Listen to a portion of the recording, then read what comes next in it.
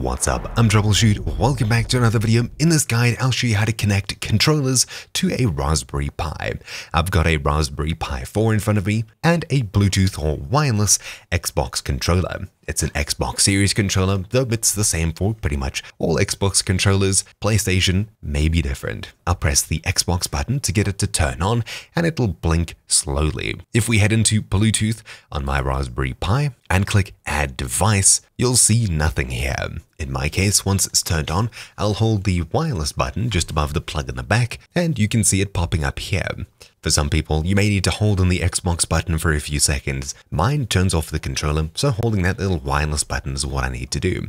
Then I'll click pair, a pairing request will be sent, and in just a few moments, it'll connect and we'll have a solid light. Now, if you want to connect a second controller, we can add another device, turn on the second controller, hold the pairing button, and when it flashes rapidly, we should be able to see it here.